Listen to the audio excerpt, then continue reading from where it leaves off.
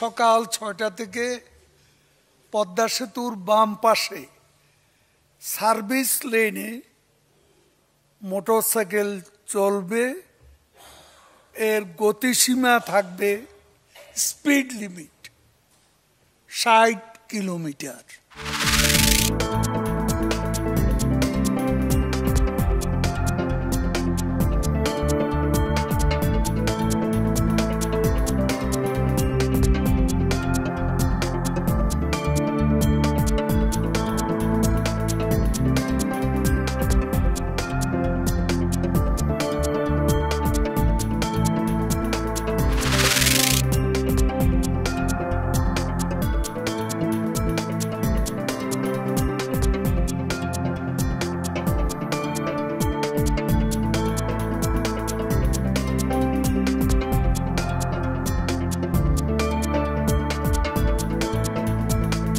চতুর্থ শিল্প বিপ্লবের এই যুগে দেশের উন্নয়ন ও অগ্রগতি নিশ্চিত করতে হলে তরুণ প্রজন্মকে কারিগরি ও প্রযুক্তি শিক্ষায় শিক্ষিত করে তুলতে হবে।